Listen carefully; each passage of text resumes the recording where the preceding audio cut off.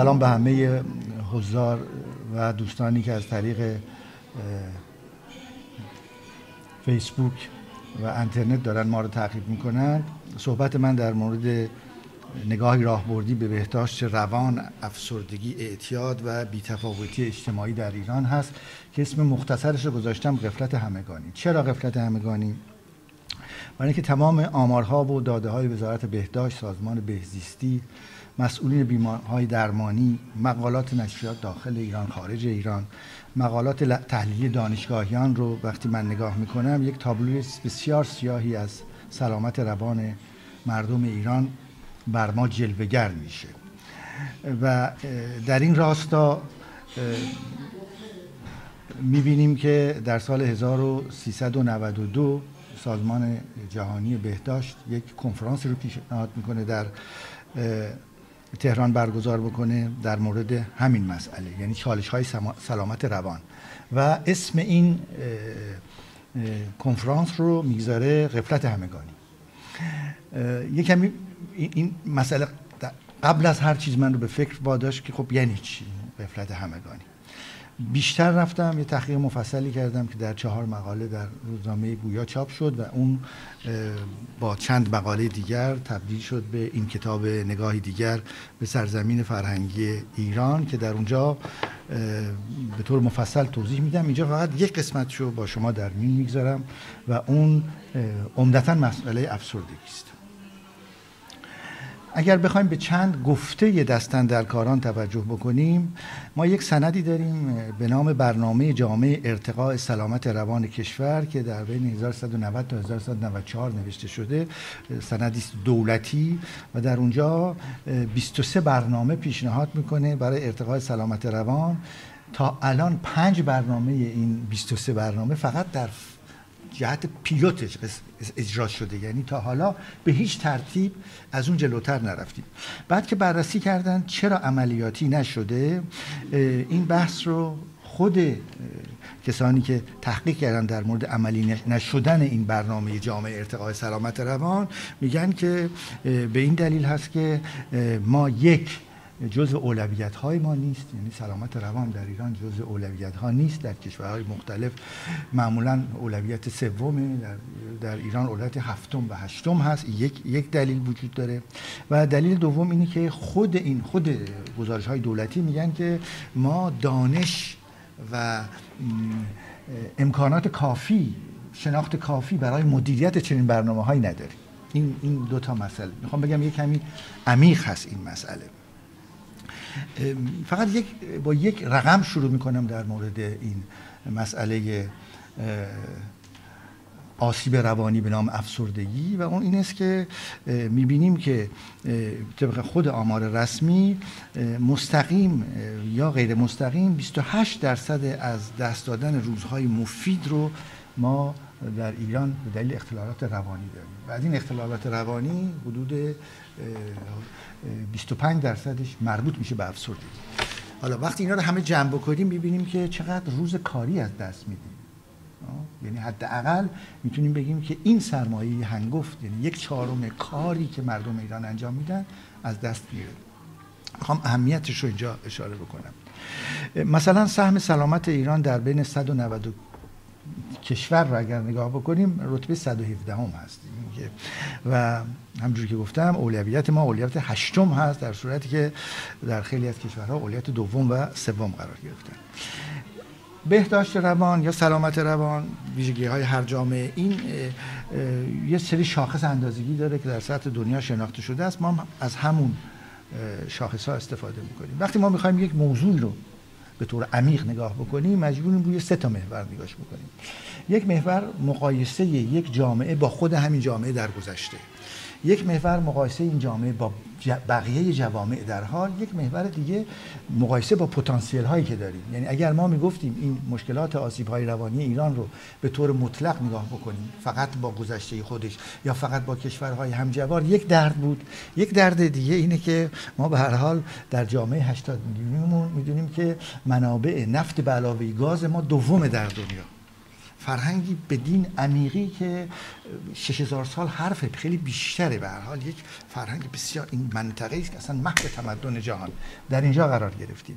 از نظر منابع طبیعی کوه یک سوم کوه یک سوم دشت و جنگل های فراوان حیفه که همچون جامعه ای همچین کشوری در همچین زمانی ما به این ارقام به اعداد در مورد بهداشت روان بر بخوریم.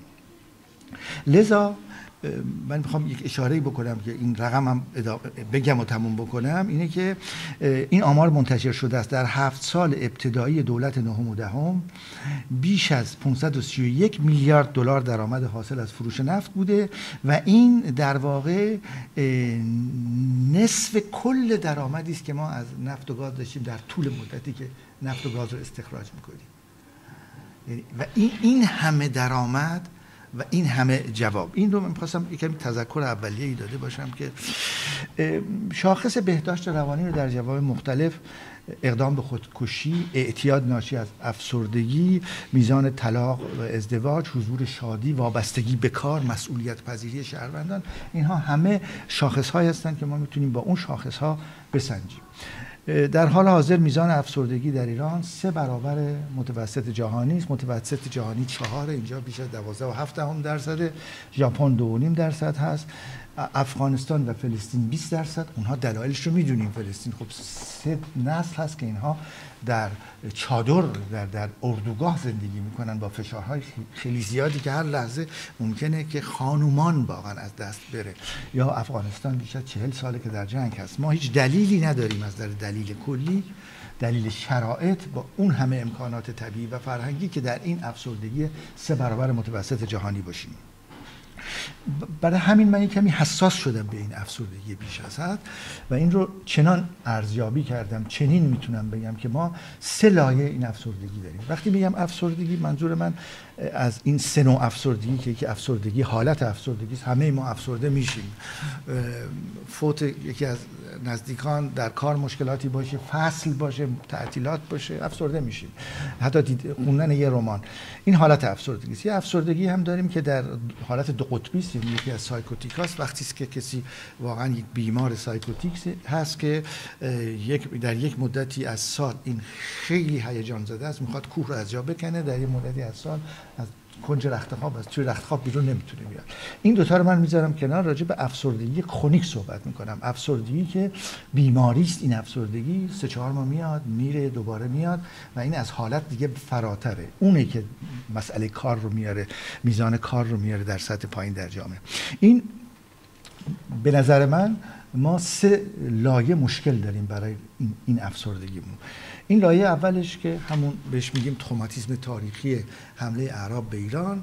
می‌دونیم که فرهنگ اساس زندگی ماست. ما چون مثل یک ماهی در آب هستیم و این فرهنگ وقتی بهش لطمه بخوره به این شکل قاطع مشخص معلوم و تمام سنت هامون تمام رفتارمون ازدواجمون زندگیمون حتی ختنه کردنی که نبوده باید کرد. این خیلی مسئله روشنه. حتی به جسممون به جسم حرکت جسمی رفتار روزمرهمون رو باید عوض بکنیم. همه اینها و میاد رو میاد تا اونجا میاد جلو که میاد به زبانمون. دیگه زبان رو اونجا مقاومت می‌کنیم. دیگه زمان زبان وای میستیم خوشبختانه. ولی همه اونها یک traumatisme یک زخم تاریخی بر ما ایجاد می‌کنه که این رو خب آی نایپل که جایزه نوبل هم گرفت آی نایپل تحقیقی داره که تمام کشورهای غیر عربی که به زور مسلمان شدن اینها این زخم روانی رو دارن در فرهنگشون. زخم دوم حضور و پیدایش شیعه است در پنج قرن پیش که به تدریج ما مذاهب اهل سنت رو که بودیم از دست دادیم و وارد مسئله شدیم مشکلی شدیم به نام عمده, شدن ازاداری. وقتی ازاداری یک ارزش شد به تدریج ما در واقع بزرگداشت رو معممین در ایران جای بزرگداشت و عزاداری رو عوض کردن. یعنی اینکه به جای اینکه ائمه خب مورد احترام هستن هر مذهبی هر دینی هر فردی حق داره که کسانی رو مورد احترام بدونه برای اینکه ارزش هایی رو که دوست داره اینا اجرا کردن. درست. ولی چرا به جای اینکه راجع به این ارزش ها صحبت کنیم حرف بزنیم اونها رو بزرگ کنیم ما عزاداری می‌کنیم. و این عزاداری که جای در واقع بزرگ داشته می‌گیره به تدریج روزخانی رو میاره که اشعاری بخونیم که بتونیم با اونها گریه بکنیم و با این گریه ها به بهشت بریم. روزه این روزه روزه باغ بهشت. خب پس این مسئله که جاش عوض شد از نظر روانی به ما یک ضربه بزرگی می‌زنه. چرا؟ برای اینکه عزاداری از نظر روانی یه نقش داره یه کار داره یه, یه چرایی داره.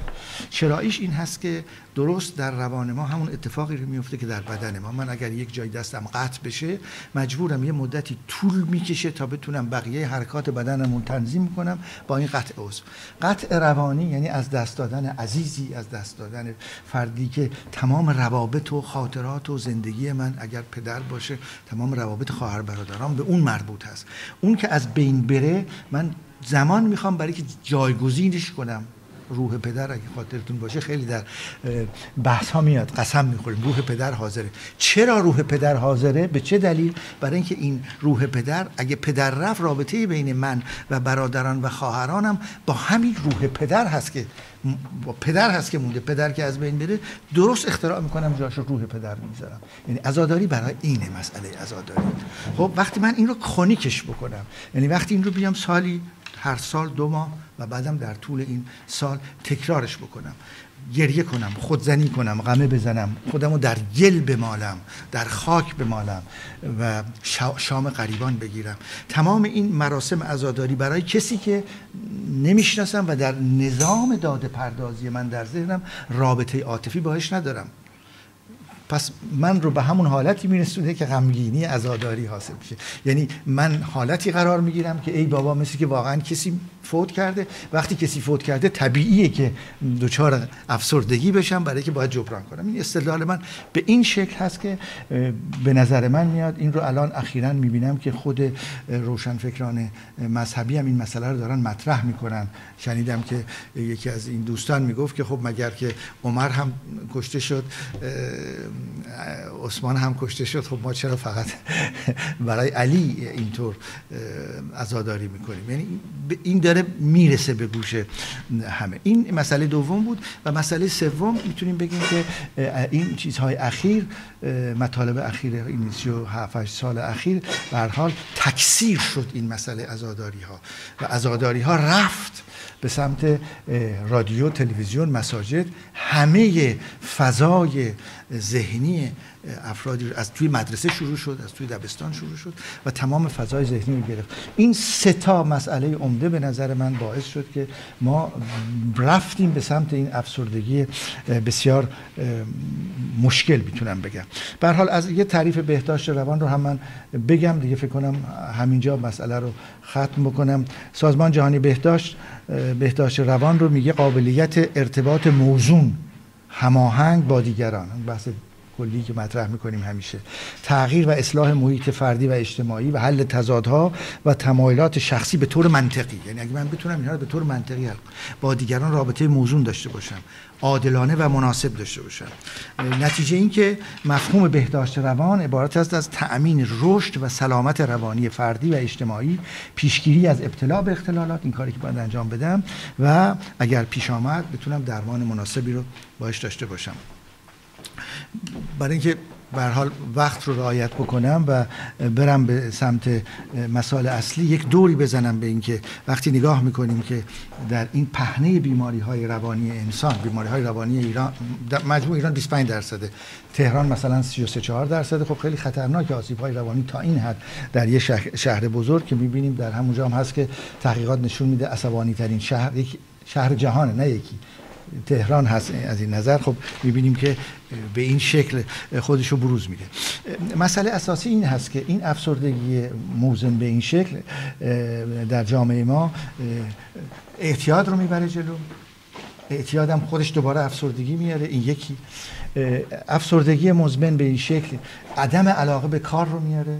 خود آمار دولتی است که میگه زیر یک ساعت 59 دقیقه. و کار مفید کارمندان دولت 59 دقیقه است. یعنی عدم مسئولیت و بیکاری رو میاره با خودش.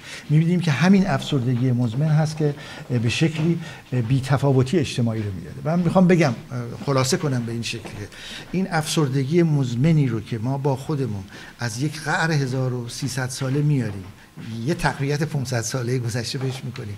میاریمش در شرایط امروز که به جای سلامتی خنده شادی رفتن جلو سازندگی و رفاه و آزادی مردم ایران باشه مسئله اصلیمون مسئله ازاداری میشه. در این وضع میرسونیمش به سه برابر متوسط جهانی این افسردگی رو.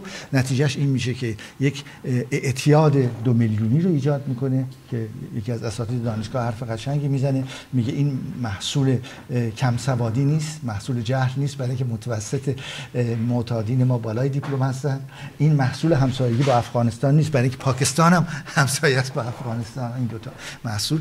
و بیتفاوتی اجتماعی. متاسفانه بیتفاوتی اجتماعی باعث میشه که ما فعال اجتماعی نباشیم به مسائل اجتماعی توجه نکنیم به اون شکل لازم. و وقتی به فعالیت اجتماعیمون توجه نکنیم به شکل واقعی کلمه نتیجهش اینه که بی تفاوت میشیم. بی تفاوت میشیم یک, یک چرخش اینجا میشه. بی تفاوتی میاد باعث میشه که ما بریم به سمت باز افسردگی و این دور باید این دور شکسته بشه. بحث کلی من پیشنهاد من اینه که همه با هم راجع به این مسئله صحبت بکنیم که بتونیم این رو بشکنیم این بیتفاوتی که نتیجهش این هست که ما جامعه مدنی فعال نداریم. یعنی از جامعه مدنی فعال هست که دموکراسی به وجود میاد نه برعکس. ما دموکراسی رو نمی‌تونیم تزریق کنیم در یک جامعه. جامعه مدنی فعال لازم هست و جامعه مدنی فعال افراد شاد می‌خواد. افرادی که می‌خواد که افسرده نباشن. افرادی که افسرده نباشن رو باید به وجود بیاریم. خیلی ممنون.